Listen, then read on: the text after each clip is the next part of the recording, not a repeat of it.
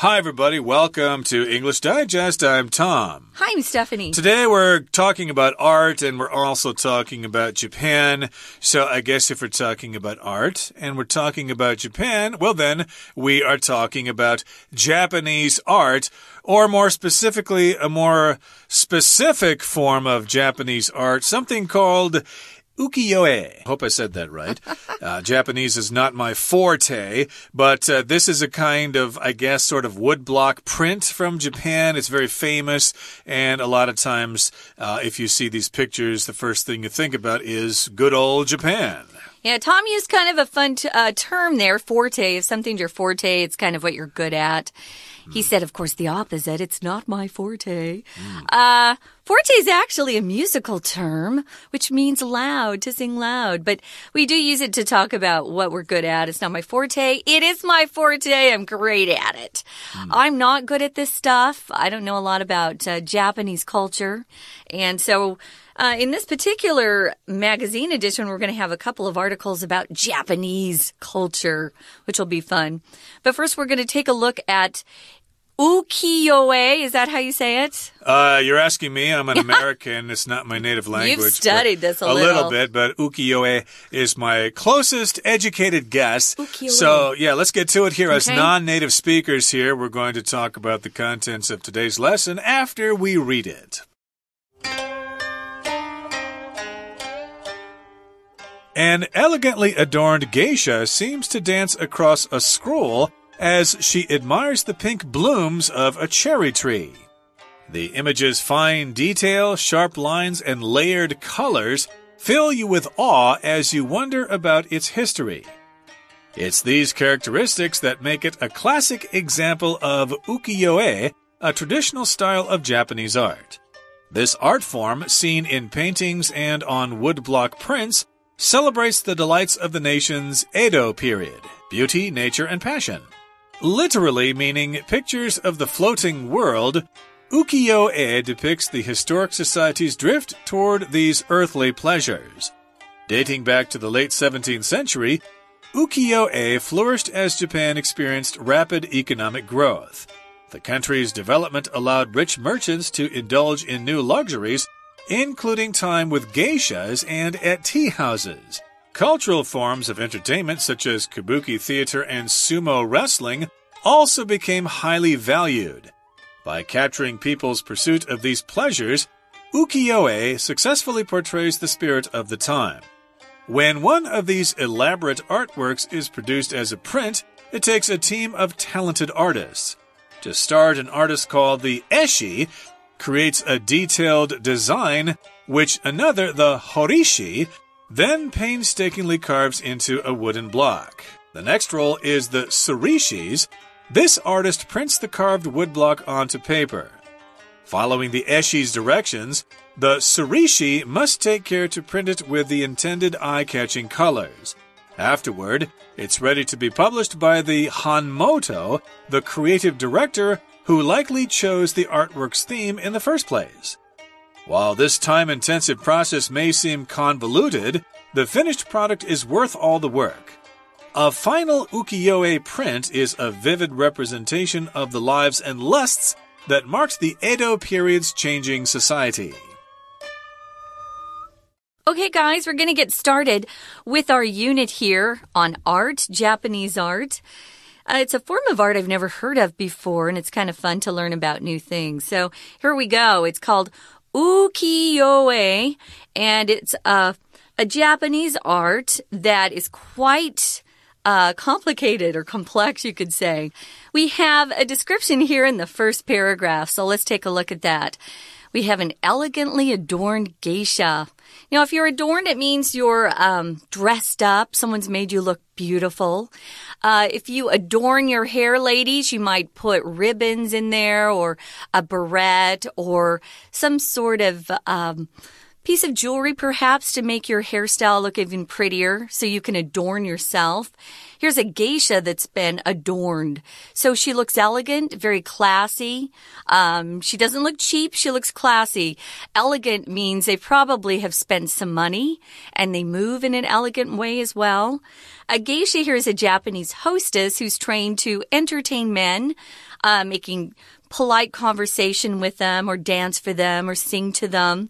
They're not prostitutes, which I grew up thinking a geisha was a prostitute, but no, they're supposed to be, um, trained in all of the beautiful uh, arts that can entertain men. So, in some ways, it's a little weird, I think, because they're just entertaining men. But uh, that's uh, what they were brought up to do. And most of the geishas that you see are quite beautiful as well. Yep, uh, they're dressed in kimonos and they've got the white face and their hair is pinned back and stuff like that. You probably know what we are talking about. And of course, a lot of paintings in the Far East here in China and Japan are presented on scrolls which are kind of long mm. and they roll up. That's what a scroll is. It rolls up into like a tube or something mm -hmm. like mm-hmm. that. So, of course, a lot of uh, works of calligraphy, for example, are done on scrolls, or at least on the paper first, and then they're mounted on scrolls uh, for transportation or for display or whatever. So, yes, that's where you're going to see this kind of painting mm -hmm. on a scroll. And of course, uh, this geisha is admiring the pink blooms of a cherry tree. A cherry, of course, is the sakura tree, as you're all familiar with. Uh, of course, you've got them here in Taiwan. Ali Shan is most famous for them, but they're in other places as well. And uh, the uh, flowers that come out of them are called blooms here, but we more often say blossoms. Cherry blossoms is what you want to see like in February. Right. They're quite beautiful. Now, the image is fine detail. Fine here just means very precise, very exact. It's not just sloppy strokes that you see. It's very careful. Uh, there's a lot of detail, sharp lines. So again, very exact, very strict. It's not like a little kid taking a crayon and, you know, drawing something. It's very precise. And they've got layered colors. So there's one color and then another color on top of that, layered colors fill you with awe as you wonder about its history. This word awe is the same sound we make if a doctor says, open your mouth and say, ah. Awe just means you've got this feeling of wonder and you can't believe something or something's really shocking or surprising. Wow, that kind of awe. And you're wondering about its history. Where did it come from? What type, what type of art is this? Uh, you've probably never seen it before if you're someone like me. I've actually never seen an ukiyo-e uh, piece of artwork in my life. I'd like to see one up close and personal. Yeah, I'm sure they got them in museums all over the place over yeah. in Japan. Even here in Taiwan, they probably have uh, exhibitions from time to time. Mm. And of course, as you said, it's a classic example of ukiyo-e which is the, this traditional style of Japanese painting. And this art form, seen in paintings and on woodblock prints, celebrates the delights of the nation's Edo period beauty, nature, and passion. So, Edo, of course, is a Zhanghu in Chinese. That was a historical period in uh, Japan there.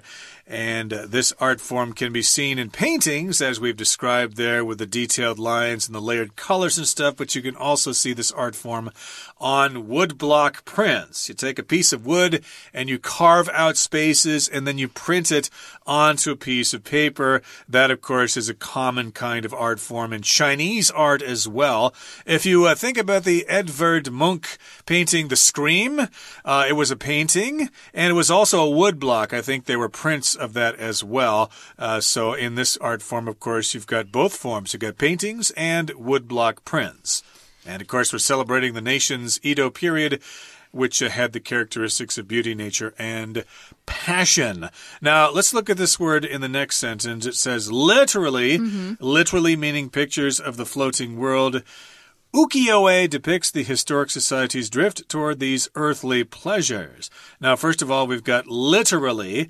That's an adverb. That means you're actually saying something exactly the way you mean it. You're not exaggerating. If you go to a party and you say, hey, there are literally 1,000 people here, you're not just saying there's a thousand people here to mean that it's just a lot of people. No, you actually mean that there are 1,000 people here, 1,000 people. You can count them literally. Yeah, the opposite of that you will see in writing would be figuratively. So figuratively isn't literally, um, but literally is exactly what follows with those words. They're not uh, using those words to describe something in a way or to exaggerate, as Tom said. It's actually what it means. So it really does mean pictures of the floating world. Ukiyo-e depicts the historic society's drift toward these earthly pleasures. If you depict something, guys, you represent it. Maybe by a drawing. An artist can represent something by putting uh, that image on a painting or maybe some other art form. If you're an actor, you can depict somebody on stage or on film by pretending you're that person by acting and portraying that person. You're depicting them. So this depicts or shows, represents the historic society's drift toward these earthly pleasures. If you drift towards something, you're kind of just floating on the air. Um, a lot of times, if you have a balloon and you let it go, it will drift for a while in the breeze. Eventually, it comes down to earth because it loses its air but it will drift for a while. There's no engine behind it. Um, if you're drifting toward pleasures, it's probably meaning, you know, people were taking part in these kind of pleasures and uh, they just wanted to have that represented for people to see what that period of time was like.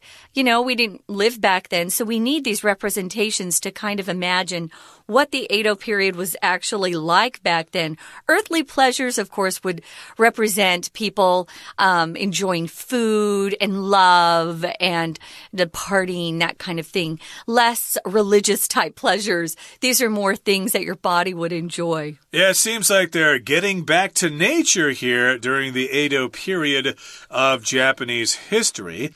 And we'll continue talking about the Edo period in just a second, but right now we're going to stop and listen to our Chinese teacher. Hello everyone, my name is Tina. 今天我们要介绍的主题呢是日本的版画艺术浮世绘。首先来看到第一段的第二个句子提到。the image's fine detail, sharp lines, and layered colors fill you with awe as you wonder about its history。在这里提到了这个呢，日本的浮世绘，它的特色呢，就是有着非常精致的制作，然后锐利的线条以及 layered colors 层层堆叠的色彩，都会 fill you with awe。哦，在这里呢，原本就有敬畏的意思，所以如果说 fill somebody with awe，就是指让某人非常的敬畏的意思。当然，你可以说很敬畏的去看，或者是听听，我们都可以说 to watch or to listen in awe。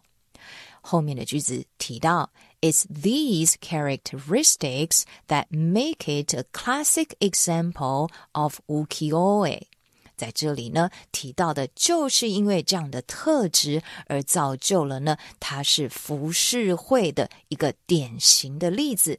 后面再补充说明，浮世绘 a traditional style of Japanese art，它是一种传统的日本艺术风格。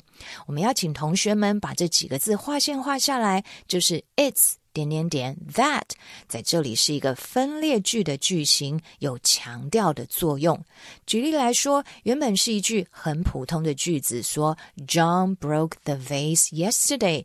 John 昨天打破了花瓶。如果你想要强调的是，就是约翰他把花瓶打破了，你就可以说 It was John that broke the vase yesterday。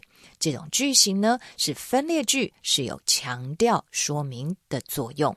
接着第一段的最后一句提到，literally meaning pictures of the floating world, ukiyo-e depicts the historic society's drift toward these earthly pleasures. 这里的 literally 呢，就是副词解释成为逐字底或者是照字面意思去解释的。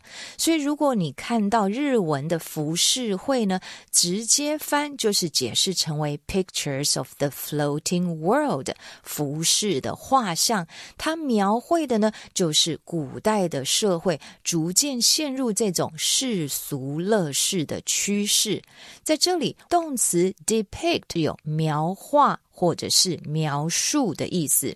举个例子来说，这本书把它描写成为一个不太讨人喜欢的人，你就可以说 The book depicts him as a rather unpleasant character. We're going to take a quick break. Stay tuned. We'll be right back.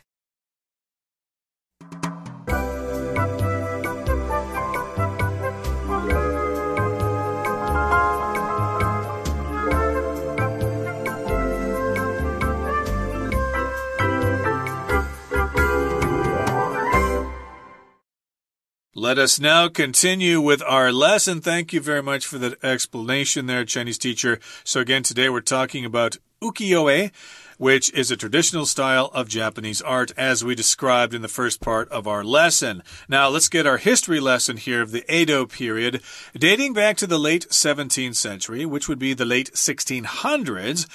Ukiyo-e flourished as Japan experienced rapid economic growth. So people in Japan at that time were getting richer.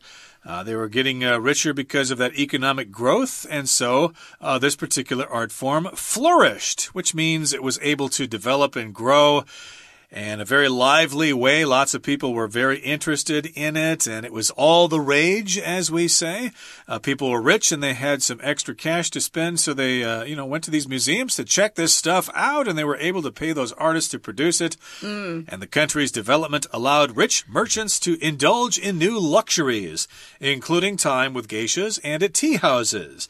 So, as I said, yes, because of economic growth, because of the development, rich people, rich merchants, uh, people who owned businesses could indulge in these new luxuries. They could treat themselves to these pleasures. Luxuries, of course, are pleasures that we don't really need to survive, but if we're rich enough to afford them, hey, we enjoy them, like uh, furs and perfume and stuff like that. Those are luxuries. And one of the luxuries that they enjoyed was spending time with geishas. And they could spend time at tea houses. Of course, as you know, tea culture in Japan is highly developed. But of course, the people also enjoyed entertainment, so cultural forms of entertainment such as kabuki theater and sumo wrestling also became highly valued. Kabuki, of course, is uh, go wuji, I think, in uh, Mandarin there. And sumo wrestling, you know, those big fat guys that try to push each other. Who wear diapers. Uh, exactly. They try to push each other out of the ring. Yeah. And so that's when those things became popular. And by capturing people's pursuit of these pleasures, ukiyo-e successfully portrays the spirit of the time. So if you want to know all about the Edo period, -huh. check out the ukiyo-e paintings and you'll get the idea. Right. So you can see kind of what it was like back then. That's fun. Uh, by capturing people's pursuit of these pleasures, ukiyo-e successfully portrays the spirit of the time. It's kind of nice to look back in history and kind of get a feel for what it was like, perhaps living back then. And that's what they're hoping you'll get with this. So when one of these elaborate artworks is produced as a print, it takes a team of talented artists. It's not just one, one, it's not just one person or one artist that can produce this type of artwork. So here's the process our writer has written out. To start, you've got an artist who's called the Eshi, and this person is the designer of this piece of artwork, you could say. They create a detailed design. And then it moves on to another artist called a horishi. And this artist painstakingly carves the design into a wooden block.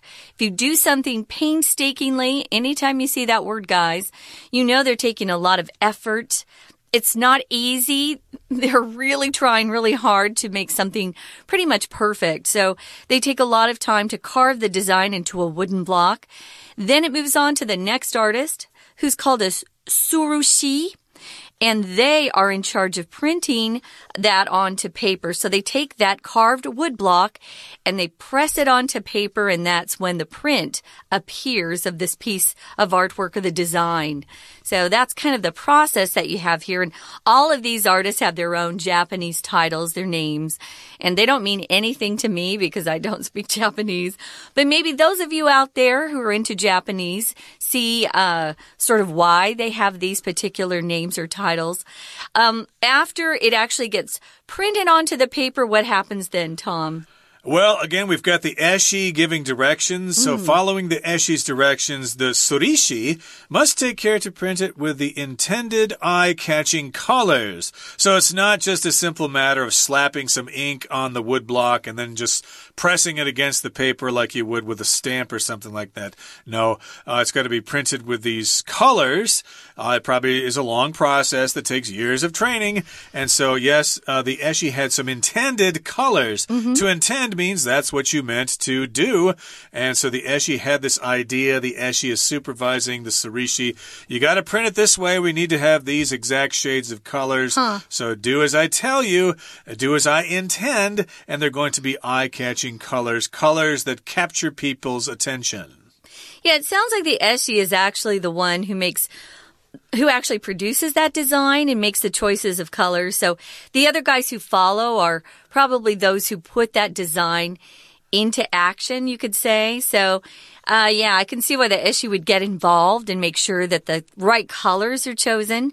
Afterward, it's ready to be published by the Hanmoto.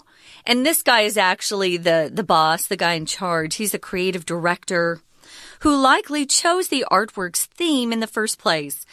Yeah, if you're, for example, in an advertising agency, the creative director is the boss of all the talent below, and he makes the decisions on what he'd like. He gives them themes and then tells them to go get something produced and then bring it back, and he decides if he likes it. Same kind of thing here in Japan. This Hanmoto, um, is the one who finally says, Yeah, I think this is good, or no, go back again and try from the start. While this time intensive process may seem convoluted, the finished product is worth all the work. If something's intensive, it just means it takes a lot of concentration and effort. Typically, if something's intensive, it's done in a short amount of time. For example, when I first got back to Taiwan, I took um, an intensive course in in Mandarin at the Guoyu Zhongxin at Shida. And instead of going to school one hour or two hours a day, I went to a Chinese class three hours a day and had a lot more homework because I wanted to get, I got through the whole book and the other classes were just moving more slowly. So if you take an intensive course, guys, or you do something that's described as being intensive, get ready to work hard and work fast because you usually don't have as much time. So this was a time intensive process. So it took a lot of time, but, um, and it may have seemed convoluted or kind of mixed up to other people. It didn't seem like it was just a simple step by step process. Convoluted, if you wrote a convoluted sentence in your English class, it just means your sentence is all messed up and mixed up. And you probably need to start again to write something that's more um, simple to understand. But actually, it's not so convoluted. The finished product is all worth that extra work that they put into it. It sounds like it takes a lot of work. Yep, to us regular people, it may seem convoluted or unnecessarily complicated, but if you know something about this, you will understand that all this is necessary.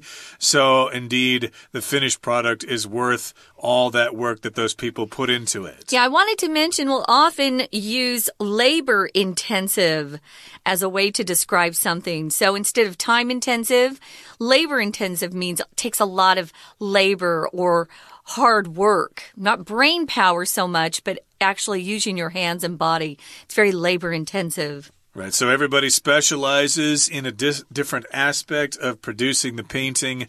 And a final ukiyo-e print is a vivid representation of the lives and lusts that marks the Edo period's changing society. So if you see that final print, Uh, that is a vivid, very lively representation of the lives and lusts of the people of that time. Mm. Representation is just something that stands for something. So if you're looking for something that sort of will tell us about that period of history, hey, check out these ukiyo-e prints, and there'll be a fine representation of the lives that the people were living at that time. And we're also using the word lust here, which usually means sexual desire. And I think that's probably a, a reference to going to the tea shops and visiting the geishas and stuff like that. Uh, because, you know, you know, rich people have a lot of time on their hands, and those are the things that they do. And of course, the society, the society at the time was changing a lot. So yes, those print, those prints can tell us a lot about the history of ancient Japan. They sure can, guys. Right now, we're going to listen to our Chinese teacher, and then we'll be back to sign off. 第二段的第一个句子提到，dating back to the late 17th century, ukiyo-e flourished as Japan experienced rapid economic growth. 其实呢，浮世绘可以追溯到西元十七世纪的晚期，在那个时候呢，日本其实经历的是快速的经济成长，而浮世绘也就开始蓬勃发展。Flourish 指的是事业等的繁荣跟兴盛。His business is flourishing，指的就是他的生意非常的兴隆。第二段的最后一句提到，by capturing people's pursuit of these pleasures, ukiyo-e successfully portrays the spirit of the time. 中间提到呢，因为国家的经济发展，所以有一些商人沉迷于一些奢侈的享受，所以就借由捕捉 （capturing） 捕捉呢，刻画人们对于这些乐事的。追求在这里的乐事，我们用 pleasure 这里当做名词，而浮世绘也就成功的描绘了这个时代的精神。接着，我们来看到第三段，最主要是描述浮世绘呢，是经由画师、雕版师、刷版师以及刊行者，然后呢，来一步一步的慢慢的完成的作品。在这一段的最后一句提到的 intensive 解释成为密集的，所以如果说是 time intensive process，表示呢它的这个过程是非常的费时。也许这样子费时的过程看起来非常的复杂难解，但是呢这个成品 the finished product 是值得你耗费这些心力的。后面的句子提到，a final ukiyo-e print is a vivid representation of the lives and lusts that marked the Edo period's changing society。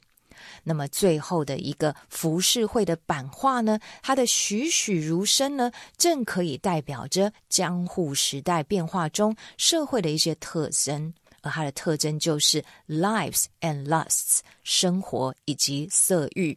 在这里，我们可以来看一下 representation 这个字，在这里当做名词，就解释成为表现跟表示的意思。